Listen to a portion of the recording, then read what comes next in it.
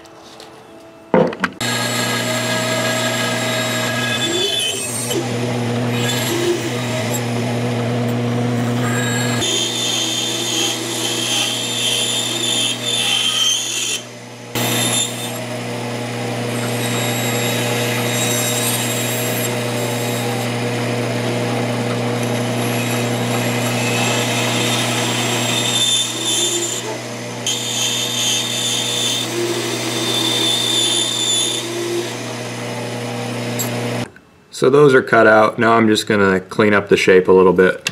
I don't have any tools that are small enough to do that for me, so I'm just gonna do it by hand.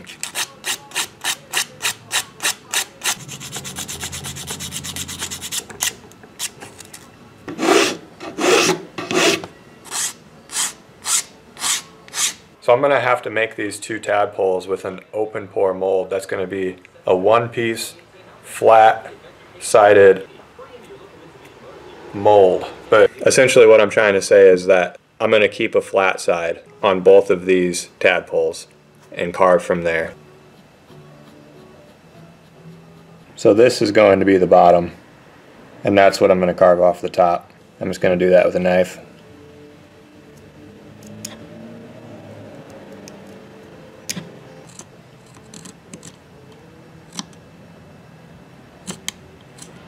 Same thing for this one. I need to look at a picture.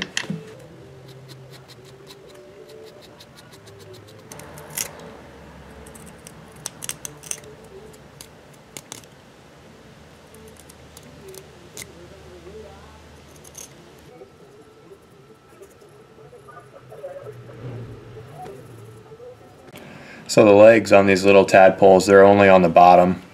So I'm kind of carving up the top here.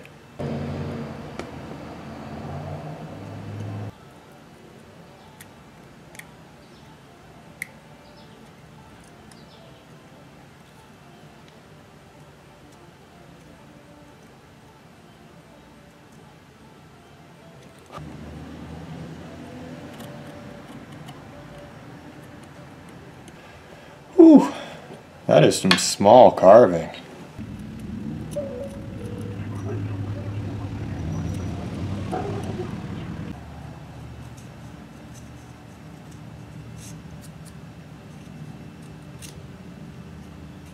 So the little tadpoles are roughly carved out.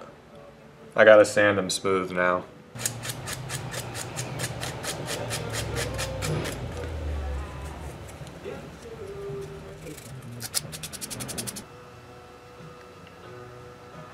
Now I'm gonna uh, get to work on the legs for the salamander. It's gonna have two up here, two back here.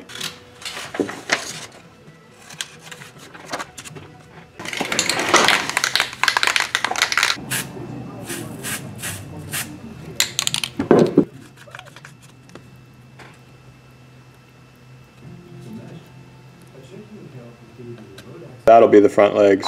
These will be the back. I need to go print off more of these.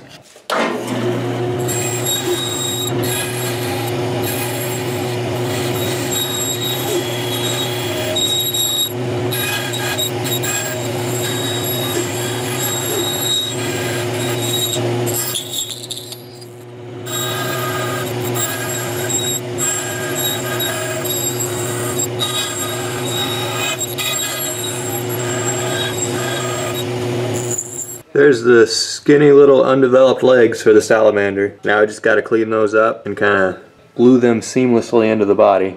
These little pieces are so small, I can't really get a good grip on them to carve them. So I'm to do my best with a Dremel this time around.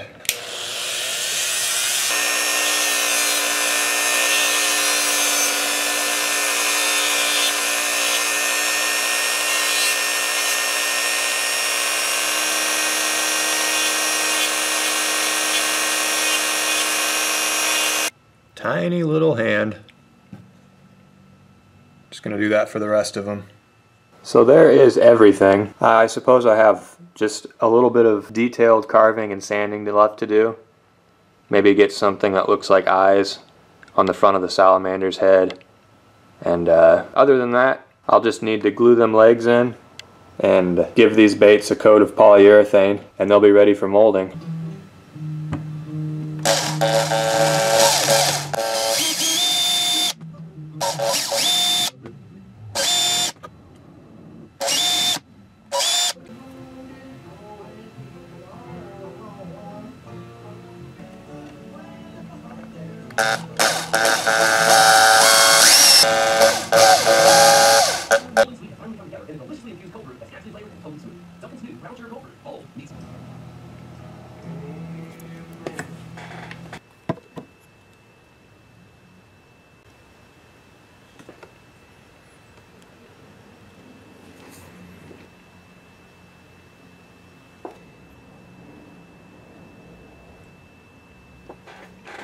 Last leg.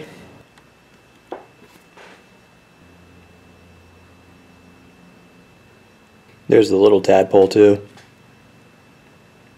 All I need to do now is uh, put some polyurethane on both of these and they'll be ready to go in the mold tonight. I have no idea if I'm going to be able to get these feathers on the salamander tadpole to actually show up after I mold the soft plastics, but I went for it anyway. Um, it's not going to hurt anything, I don't think. It'll be really cool if I can like cut a line to them so I can open up the mold before I pour the soft plastics so I can actually get some plastic in there and mold them.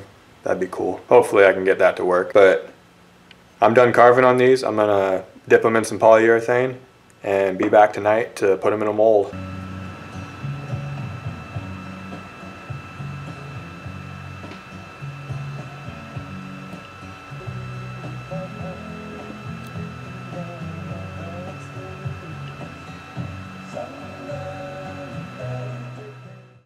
So there's the two baits all ready for molding.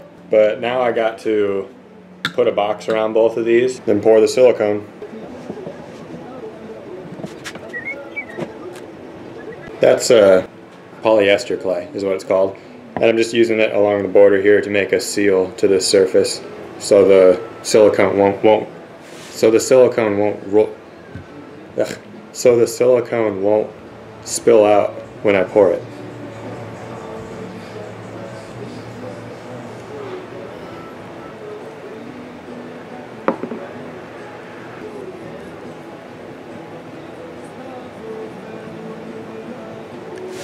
So I'm just going to mold these baits with some silicone. It's called RTV silicone. It can resist really hot temperatures and be used over and over again in case I want to make a lot of these.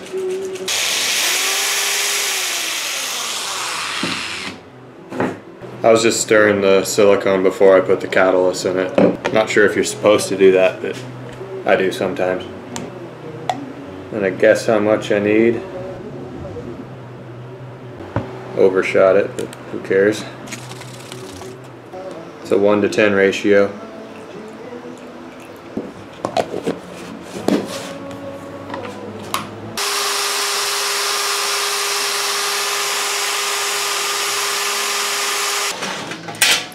This is a degasser vacuum.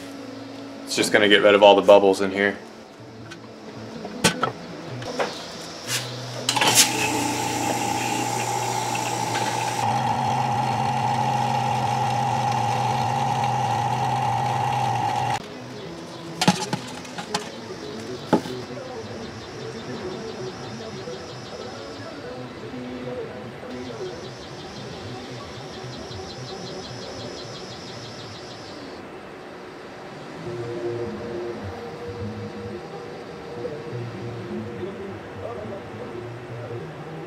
So now I just need to wait until tomorrow morning. I should be able to mold some of those tomorrow morning and go fishing.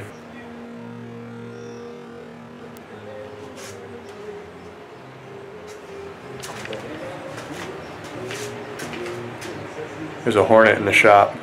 Oh, it's a big one. So yeah, I'm gonna get out of here. See you tomorrow morning. I think it was a wasp. I tend to over exaggerate when I'm scared. trying to wait and see it leave or just at least make sure it's not in here still when I close up the shop. I lost it. Oh, it's up there.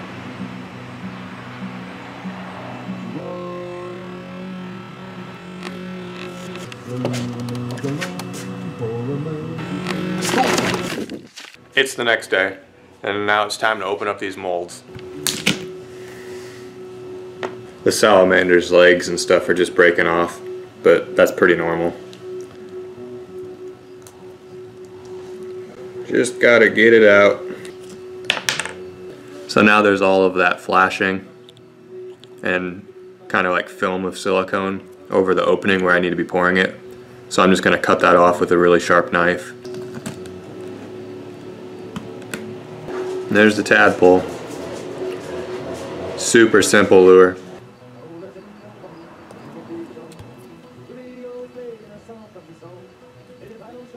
So for the salamander bait, I've got these 1 16th ounce jig heads and I've cut some slots in the bottom of this mold. I'm just gonna set it in before I mold.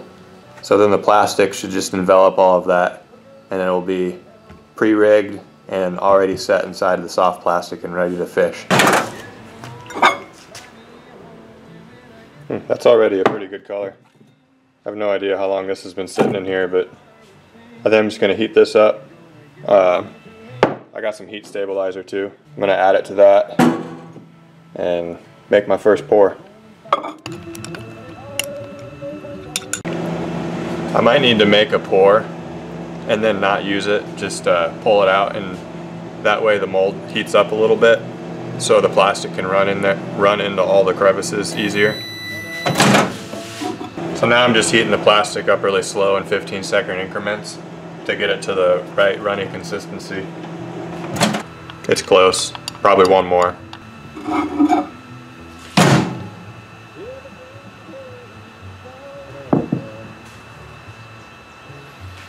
So I'm probably not going to be able to use that, but that definitely heated up the mold good enough to where I think the second pour will go good. I think for the second time around I'm going to pour the arms first and then spread the tail and go up.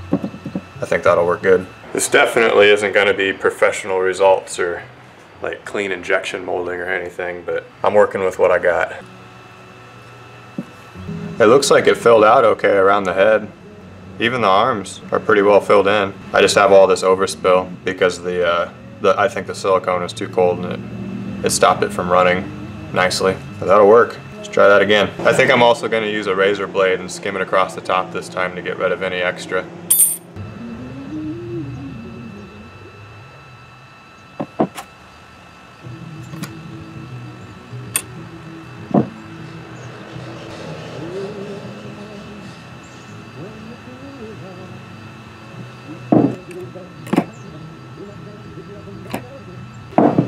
I think I'll be able to make that work. It wasn't pretty, but I think that came out fine. It's got all of the flashing on it still, but I'm going to trim it up and show you guys what it's like. So there's a finished salamander. I even uh, I super glued some eyes onto the front too. Totally unnecessary, but a little extra detail never hurt. Hopefully on the retrieve the tail has a bit of a flap That would be cool. That should catch some fish for sure. It's funny, you can see the, the painted jig head in there. I'm gonna mold uh, a few more colors of these and then I'm gonna go fishing. I just went out and I looked for the smallest jig heads I could possibly find. These are a 164th ounce. I'm gonna actually try to rig them inside of the uh, toad tadpole lure too. And I got some longer, thinner 116th ounce jigs for the salamander. I think those will work better.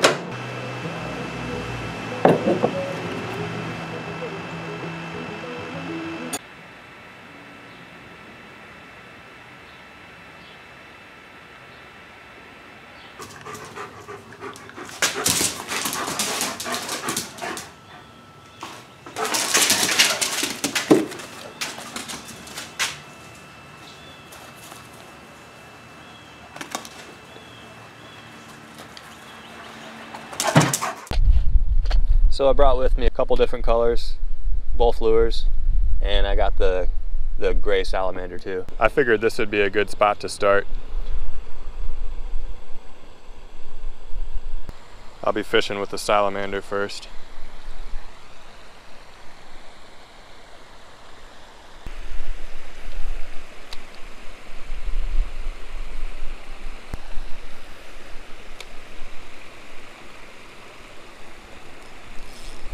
Something. I think it's a smallmouth. Yeah, it's a smallmouth. Oh, we spat it.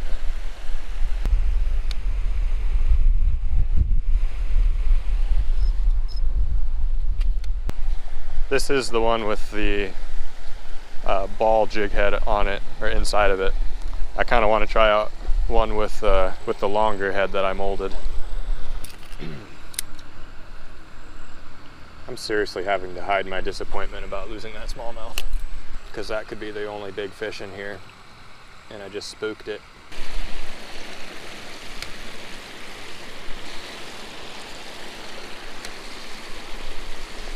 Okay, I'm gonna tie on a toad because I'll be able to catch him with that for sure.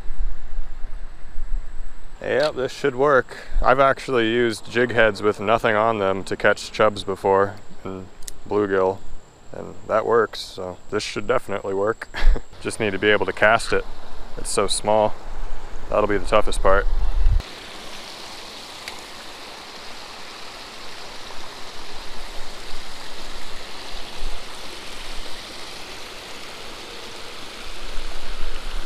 Look at that.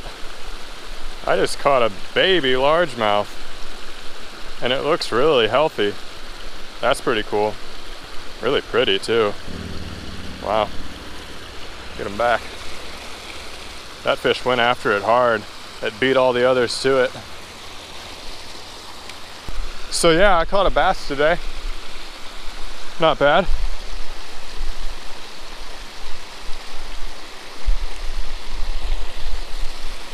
That looks more like a chub, yeah.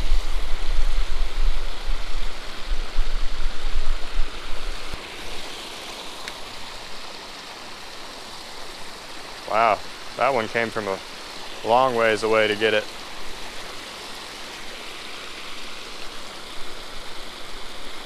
Has a nice iridescent shimmer to it. That purple. I don't know if you can see that on camera.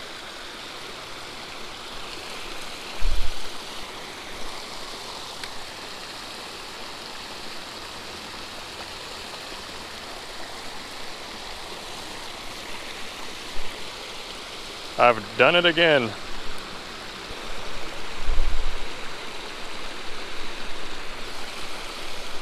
Another largemouth. That's cool to see. Healthy little largemouth in this little creek. I'm kind of looking for a mud shiner. I've caught one in here before, I think on video too. They're a really pretty fish. Whoa!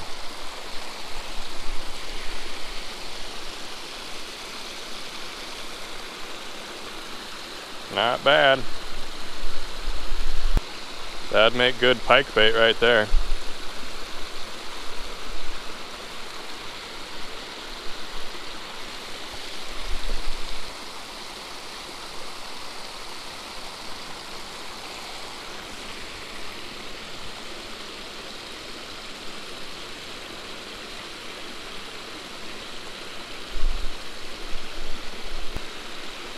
Another largemouth. I'm gonna tie the salamander back on and I'm gonna try to catch something out of here with that bait for uh, maybe another half an hour. If I don't catch anything on the salamander, I'm gonna go to a different spot, probably a bigger dam.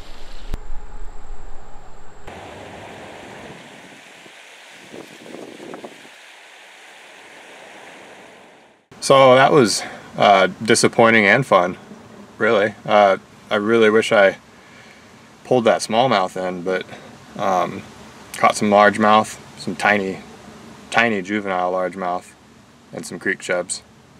Uh, I'm going to think of a much better spot to go now and uh, try to get something on the salamander.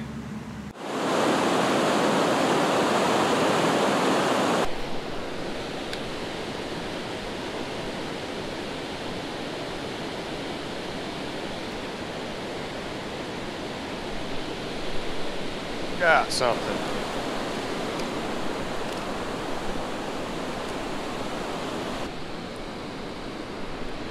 It took the jig out of the body. Dang it. Well, got a smallmouth. Maybe I can put this back in here. Might have some life in it yet.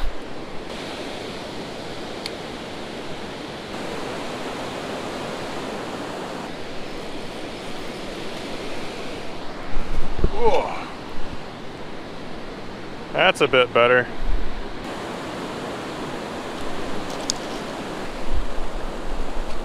I'm gonna put the gray one back on.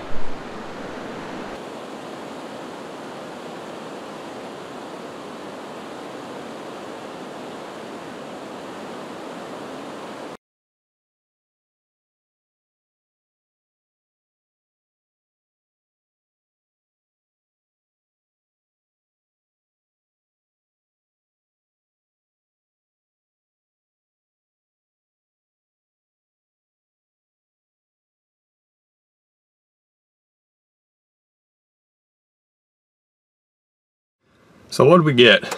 I think we got a bunch of baby bass. I don't even know how many. I got a couple creek chubs. And then here at the river we got uh, one smallmouth and another largemouth. So it's funny how much more you can catch with small practical lures. I think tomorrow uh, Chelsea and I we're gonna go just to a creek and walk upstream and probably fish the little toad tadpoles some more. So getting back to making some fancy wooden baits sounds really good though right now. Looking forward to next week. Keep the ideas coming. They really help. I write them down all the time. So thanks for uh, the inspiration. On to the next bait.